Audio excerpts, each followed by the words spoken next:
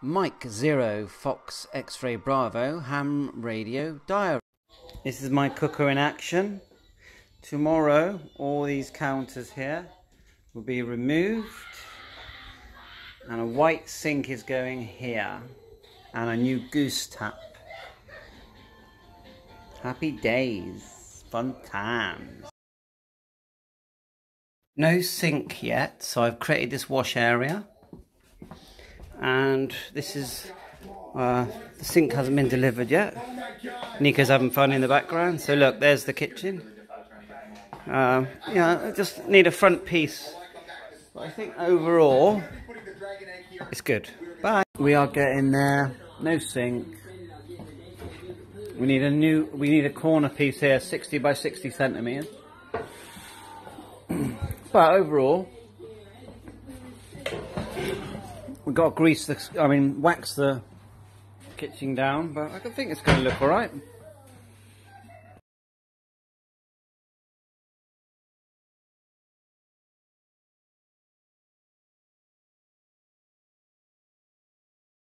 Here we are.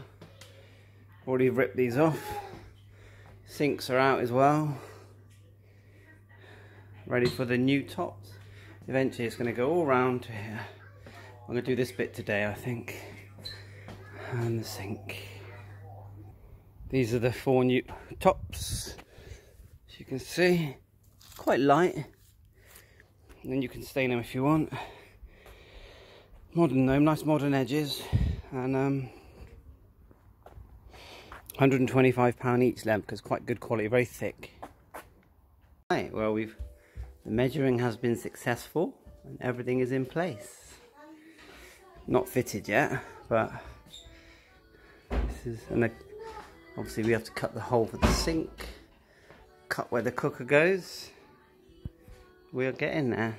I did cut here, but it wasn't a great cut, but it's done it, and I've uh, cooker top black, and then this this goes here like that and it all matches in with the cooker but it's getting there in the end the jigsaw I think was easier stage is this corner which eventually is going to look like this corner. Top removed wasn't too bad.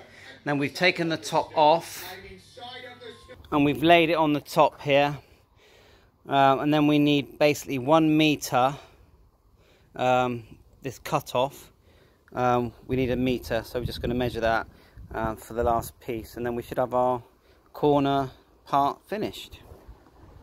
Okay, it took a few goes but I uh, got this cut right now and uh, I could turn this around and get a better cut here I suppose just by flipping it but ultimately uh, that's that done.